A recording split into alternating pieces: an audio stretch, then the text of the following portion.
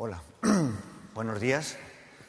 Pues nada, la razón de ser de esta ponencia, actividades preventivas no indicadas, las no recomendaciones, tiene que ver con esta especie de, axioma según el cual el realizarse actividades preventivas es buenísimo, todos tenemos que hacernos un montón de pruebas, y esta especie de deriva mediática a instancias de muchos organismos de que nos hagamos pruebas indiscriminadas. Pruebas indiscriminadas, además, eh, equiparando factor de riesgo con enfermedad y con el logo de que buena gana de hacerse una autopsia, pudiéndose hacerse un colesterol, ¿verdad? Siempre, además, con cierto alarma social para que el paciente sea consciente de que lo que está eh, en riesgo es, tremendo, ¿no? Es una enfermedad, pues, eh, de gran repercusión. Hemos conseguido, tras 300.000 años de evolución, el que el ser humano tenga el pH del estómago alcalino. Nos ha costado, pero al final lo hemos conseguido gracias al omeprazol. Sin embargo, parafraseando a José Mota, las gallinas que entran por las que salen, ¿no? Porque efectivamente todas estas cosas no son inocuas. Y entonces ya hay estudios, dos metaanálisis de estudios observacionales, que evidencian que el consumo de omeprazol está originando eh, aumento de riesgo de fracturas de cadera y de fracturas vertebrales, déficit de absorción de calcio, déficit de absorción de vitamina D, además de eh, aumento de la incidencia de diarreas por Clostridium, etcétera, etcétera. Incluso estudios que demuestran que el arendonato es menos eficaz cuando se asocia con el IBP. Seguramente habrá que poner algún tipo de, restricción a toda esta especie de deriva absurda de hacerse pruebas innecesarias. Aquí vemos eh, la unidad de chequeos del Hospital San Camilo, donde la verdad es que a la doctora, que es la jefa de servicio, solamente le falta el bolígrafo aquí y eso de, vamos a ver, tenemos un chequeo nutricional, un chequeo digestivo, un chequeo deportivo, un chequeo, en fin, la verdad es que todo bastante bastante carente de, sentido común. ¿no? Eh, al final, eh, como decía Víctor Montori en la, charla de ayer, para que el médico nos haga así, de que estamos enfermos, y si no, siempre tenemos los preenfermos, ¿no? Pues seremos hipertensos, prediabéticos, preosteoporóticos, prejubilados, pre... en fin, en fin. Voy a hablar de la crisis, y es que encuentro tremendas similitudes. Hay un libro fantástico de Tony Judd, que es el penúltimo libro, es un autor que, murió el año pasado, y que entonces eh, alega tres razones para justificar la crisis. Uno, desprecio por el sector público. No me cabe ninguna duda de que en el ámbito sanitario la única manera de salvar el sistema sanitario y dar cierto raciocinio es protagonizando, pivotando todo sobre el sector público, no el privado, para evitar los desmanes de antes. Y es más, como decía la doctora Barbara Stanfield, también recientemente fallecida, seguramente será en este ámbito público liderado por los médicos de familia, que somos los que estamos dando eficiencia al sistema y racionalidad. Admiración a crítica por los mercados no regulados. Esto hay que regularlo. Esto no puede ser que cada uno ponga su chiringuito y empiece a hacer pruebas. Gracias a la Task Force americana, gracias a la NICE y gracias al PAPS, a instituciones serias que hacen que efectivamente como decía la doctora Stanfield también, el desarrollo de la medicina está en una situación equiparable al calentamiento global. En unos pocos años la tecnología acabará destruyendo el medio ambiente. En los sistemas de salud sufrimos la misma crisis. La tecnología está a punto de destruir la salud por su mala utilización. Y luego un punto que también eh, Tony Judd eh, alegaba como causante de la crisis, que es ilusión por el crecimiento infinito. Podemos crecer hasta el infinito. Bueno, pues en la salud es, evidente, ¿no? Hemos creado la expectativa a los usuarios de que tenemos, podemos efectivamente tener la salud infinita. Podemos prevenirlo todo. Eso sí, a costa de vivir bastante más enfermos, pero para morir más sanos. Viva la salud. Tendremos que recapacitar y transmitir a la población que las actividades preventivas son buenas en la medida de que sean buenas y que hay muchas actividades preventivas que no son buenas que incluso actividades preventivas que son buenas como la mamografía, pues tienen muchísimas limitaciones y que no salvan millones y millones de vidas. Que si 2.000 mujeres son valoradas regularmente durante 10 años, tan solo una se beneficiará del cribado.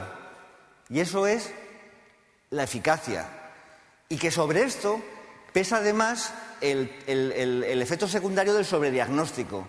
Al mismo tiempo, de esas 2.000 mujeres, 10 mujeres sanas serán diagnosticadas como pacientes con cáncer de mama y en consecuencia serán tratadas innecesariamente, serán mujeres cuyo cáncer nunca se manifiesta. Y luego están los falsos positivos, aquellas a las que les damos, les decimos que tiene un cáncer de mama y, y luego resulta que no lo tiene. Por eso, las recomendaciones tanto de la Task Force americana como del PAS han rebajado el nivel de, importancia de la recomendación. Mamografía, sí. Debería recomendarse a mujeres entre 50 y 69 años. Es que no, funciona bien el puntero.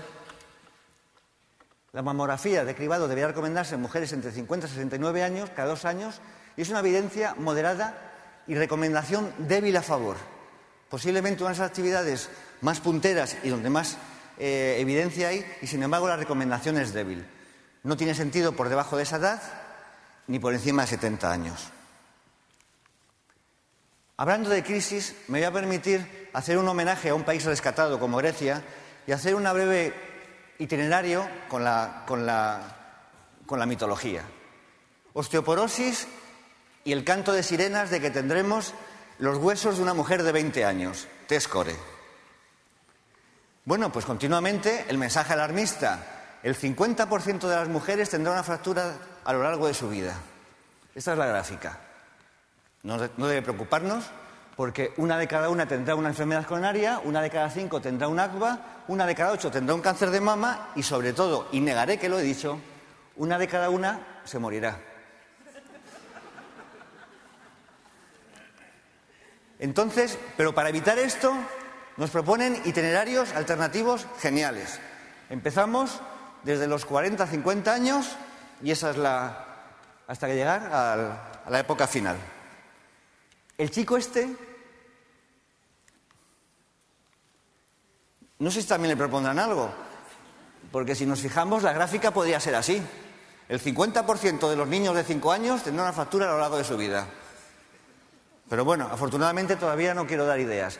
Lo, realmente relevante es las facturas, el riesgo de fractura en los próximos 10 años, que es algo que viene preconizando el PAPS desde hace un montón de tiempo y que, bueno, pues al final resulta que con eh, una prueba como la densitometría, con una sensibilidad del 40%, con una especificidad en torno al 90% y con un valor predictivo tan bajo cuando cogemos poblaciones de bajo riesgo, véase menores de 60 años, pues desde luego sí podemos dictaminar que no tiene sentido hacer cribados densitométricos a mujeres menores de 60 a 65 años, como preconiza eh, la Task Force americana,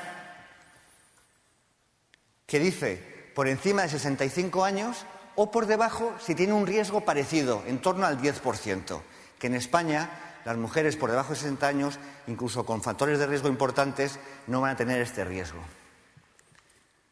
Y esto es lo que preconiza. El cribado con densitometría selectivo o en población general no se recomienda en mujeres climatéricas en edades inferiores a los 60 años, salvo en presencia de enfermedad osteopenizante. Recomendación fuerte. Vamos con Sísifo y el cáncer de ovario. Un montón de años sobre todo los ginecólogos, han estado empeñados en que citología anual, exploración ginecológica semestral, etcétera, etcétera. Bueno, pues ahora llegamos a la piedra otra vez y volver a empezar, convenciéndolas de que el examen pélvico manual no sirve absolutamente para nada. Diagnostica una de cada 10.000 mujeres asintomáticas y no parece que sea el procedimiento más adecuado para el cáncer de ovario. Ahora lo que está pitando es el antígeno CA125. Y en ese sentido tenemos un par de, estudios. Uno es un famoso estudio que ha desarrollado muchas evidencias en muchos cánceres, el estudio PLCO para cáncer de próstata, pulmón, colon y ovario.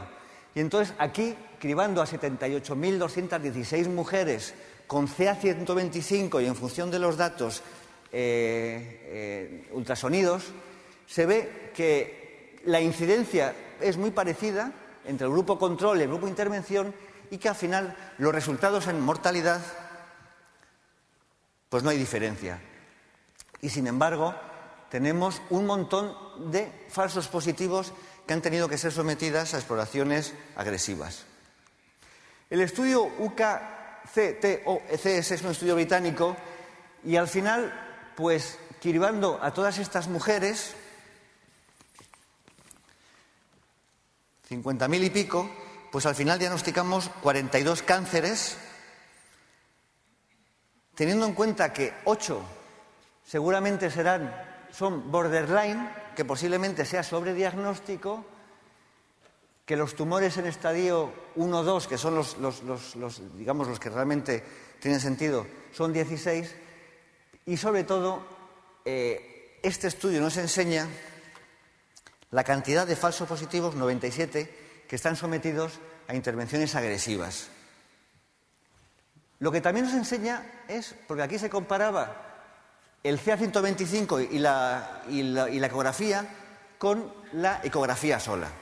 Ahora que está tan vigente el tema de la ecografía, pues es una herramienta potentísima para los médicos de atención primaria, pero el cribado ecográfico no tiene ningún sentido, porque al final, efectivamente, diagnosticamos más o menos lo mismo, pero fijaros, a costa de hacer 845 intervenciones en mujeres que al final no tienen nada. Tienen muchísimos falsos, falsos positivos. Eso nos enseña que incluso estudios con una aceptable sensibilidad y especificidad, pues al final, cuando la prevalencia de la enfermedad es muy pequeña, el valor predictivo positivo es muy bajito y entonces pues no tiene sentido hacerlo. Y esto que si metemos los datos del estudio, la Liquilus ratio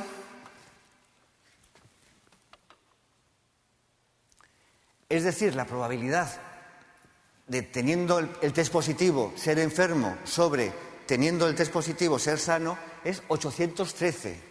O sea, es una prueba bastante potente, el CA125, pero lógicamente aplicado a población que tengamos ya sospecha. Y es que, eh, como decía Pascal, el corazón tiene, sus razones que la razón no entiende. Pues el corazón tiene el corazón y las actividades preventivas tienen razones que, la razón no entiende. Y es que, es que efectivamente, test con una sensibilidad y una especificidad muy buenas, 90-96%, pues si lo sometemos a población con una prevalencia de la enfermedad, por ejemplo, de 0,6, pues vemos que el valor predictivo positivo es 12,5. Si esa población, esa prevalencia de la enfermedad es superior, por ejemplo, al 6%, el valor predictivo positivo sube importantemente hasta un 58%. Es decir, no solamente nos tenemos que fijar en el valor predictivo positivo, digo, en la sensibilidad y especificidad, sino en la, prevalencia de la enfermedad. Y luego fijaros aquí, en el cuadro de la izquierda. Ese test, el 88% de los resultados positivos serán erróneos. Cinco se benefician de la intervención, los que tienen la enfermedad positiva y el resultado positivo. 995 la sufren bastante porque tienen que hacerse la prueba, pero es que esos 35 que tienen la prueba positiva y negativa se benefician, se perjudican bastante, ¿no? NICE, en su última guía, recomienda el CA125 y luego la ECO, pero eh, si tiene sospecha clínica, que serían estos. Síntomas más de 12 días al mes de distensión abdominal, saciedad, pérdida de apetito, dolor abdominal o aumento de la frecuencia urinaria o incontinencia o ambos, esto junto con pérdida de peso sería la población tributaria de hacerle el CA125. Es decir, el PAS en población general no aconseja la determinación de CA125 en ecografía transvaginal y no deben recomendarse una evidencia moderada y una recomendación fuerte en contra. Vamos con Prometeo y el cáncer de próstata.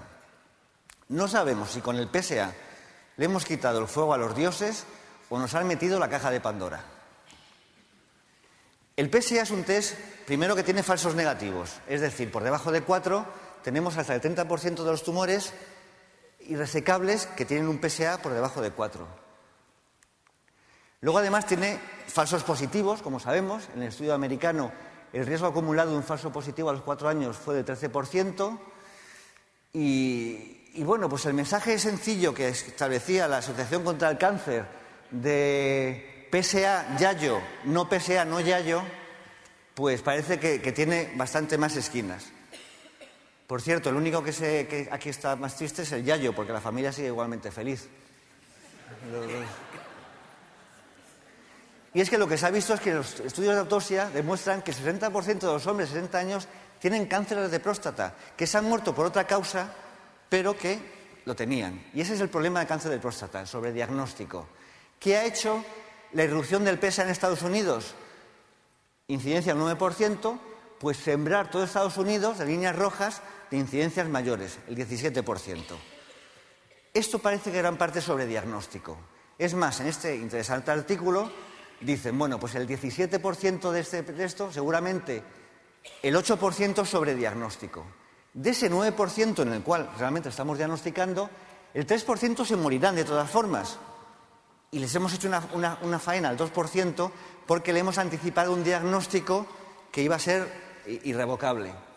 El 6% que se benefician, un 1% se mueren por otra causa, porque eh, evidentemente esos tumores acontecen en personas muchas veces muy mayores.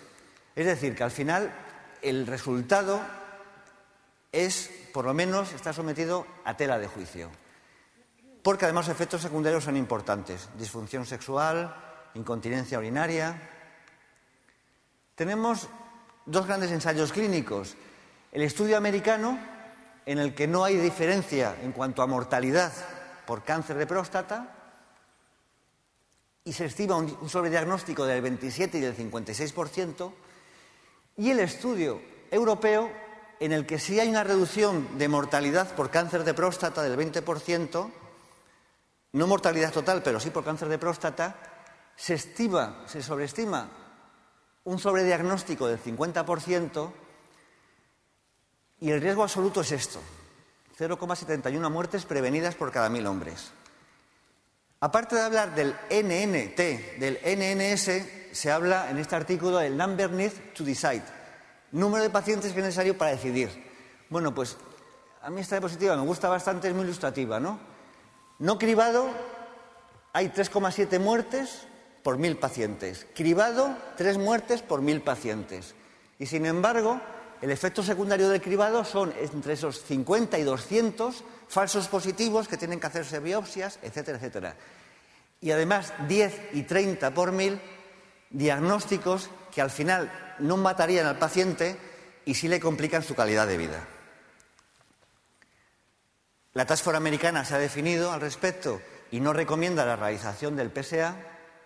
Bueno, entonces otro artículo, otro estudio inglés que tampoco encuentra diferencia de mortalidad. Ha salido ahora, en las últimas semanas, eh, la prolongación del estudio europeo, ya no nueve años, sino once años.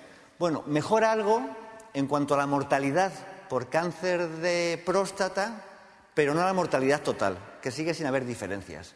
Entonces, en lugar de haber 0,7 las muertes que se evitan, es 1,07. ¿Qué dice el PAPS? Pues con estos mimbres, realmente, la determinación del PSA no debería recomendarse como prueba de cribado del cáncer de próstata en población asintomática de riesgo medio. Bueno, y vamos con el cáncer de pulmón. Y ahí tenemos a Penélope haciendo y deshaciendo el telar. Y aquí tenemos el cáncer de pulmón, que sí, que radiografía, sí, se hacía radiografía, luego no servía, la citología tampoco. Pues lo que está clarísimo es que la prevención del cáncer de pulmón se basa en la prevención primaria y en evitar el tabaquismo. El estudio PCLO famoso ha visto que la incidencia en fumadores es 6,7 cánceres por mil cribados realizados. Si cogemos exfumadores, la incidencia es 4,9 cánceres. Si cogemos exfumadores de más de 10 años, 1,5 por mil personas años. Y no fumadores, 0,4. Esta es la estrategia. Entre los años 51 y 75 hubo multitud de estudios eh, testando la radiografía de toras y se vio que no servía para nada. En el 93 se hizo un gran estudio, se inició el estudio PCLEO y, tampoco se ha visto que la radiografía eh, reduzca las muertes por cáncer de pulmón. Y la cosa empezó a, meterse en la controversia cuando se vio que bajar dosis de tomografía eh, computerizada, digo que cribado con tomografía computerizada de baja dosis, parecía que podía disminuir la incidencia, o sea, podía aumentar la detección precoz de cánceres de pulmón. Esto eh, era un estudio observacional. Tenemos ya los resultados del estudio americano, el NLST, que son 54.454 personas entre 55 y 74 años con historia de tabaquismo de más de 30 paquetes año en los últimos 15 años. Y aquí lo que vemos es que, efectivamente, este estudio sí demuestra disminución de mortalidad. Uy, me caigo. Aquí lo vemos. Reducción relativa del 20% en cuanto a muerte por cáncer de, pulmón y también en cuanto a cáncer, muertes por cánceres, digo, mortalidad total. ¿eh? Si vemos aquí los cánceres diagnosticados, que son estos, 1660, vemos que el cribado ha detectado 649. Hay cánceres con test negativo, no, excluye los falsos positivos, digo los falsos negativos, 44, y cánceres en personas que no se hicieron la prueba. El dato relevante aquí es la cantidad de falsos positivos que hay, que son bastantes. Y luego ese estudio se ha sometido también a algunas críticas. El estudio terminó antes por el efecto positivo de la intervención. Los estudios que terminan antes del periodo previsto tienen problemas metodológicos porque suelen sobreestimar la importancia de, la intervención. Luego, alta pericia de los cirujanos, con casuísticas por encima de lo que habitualmente se ve de mortalidad, que solo el 4%, y ellos tenían el 1%. En cualquier caso, el estudio danés, este, cuatro mil y pico fumadores entre 50 y 70 años también, fumadores de más de 20 paquetes al día, pues al final nos han dado datos. Este es el primer año, 17 casos diagnosticados con un 90,5% de falsos positivos. Aquí vemos personas con nódulos 179, falsos positivos fueron 162, 90,5 en relación con los nódulos y el 7,9% en relación con la población. Este es el primer año. Han salido hace poco los resultados de, los últimos resultados, en los cuales se ve que los falsos positivos cada año siguen aumentando, esos 162 más 34 el siguiente cribado, más 39 más 32, etcétera, etcétera, y, y que la mortalidad total aquí, contrariamente a lo que pasaba en el estudio americano, no se modifica ni la mortalidad total ni la mortalidad por cáncer de pulmón. Aquí tenemos los datos, ya, estoy mirando, aquí tenemos los datos muy favorables al cribado en términos relativos, que parece que, efectivamente, eh, sin embargo, cuando vemos en términos absolutos, la diferencia en estadios elevados 16-21 prácticamente no se ve. Y seguramente es porque hay un sobrediagnóstico. Estamos sobrediagnosticando tumores eh, eh, precoces, pero no, disminuimos los de estadios avanzados. Esta es la sensibilidad, especificidad y valor predictivo del test, 8%, pequeña. Entonces, bueno, pues en principio eh, todavía hay algunas cortes europeas pendientes de terminar. Esta es una revisión sistemática de algunas sociedades científicas americanas que llegan a la misma conclusión. No parece que todavía tengamos elementos para plantear la indicación de cribado. El PAS que dice la radiografía de toras y la citología de esputo no deben recomendarse como prueba de cribado, la tomografía computerizada espiral de baja dosis no debería recomendarse como prueba de cribado de cáncer de pulmón. Y sin haberlo preparado, también cojo aquí algo de la mitología de otro país intervenido, como España. Entonces, bueno, pues aquí está eh, sobre esta magnificación de las enfermedades, pues el Quijote, teníamos que hacer caso a lo que dice el Quijote, que somos tendentes a engordar desdichas y a exagerar afrentas. Cuánta contienda es fruto de empeños desproporcionados y cuánta pendencia podría haberse evitado si la razón ejerciese sus feudos como ahora lo hace el despropósito. Que es importante que no veamos gigantes donde tan solo hay molinos. Esto no lo ha dicho nunca el Quijote. Esto me lo inventé yo, pero yo creo que lo podía haber dicho el, Quijote si viese la situación que estamos haciendo con las actividades preventivas y la aplicación de las tecnologías sanitarias a, a nuestra realidad. Muchas gracias.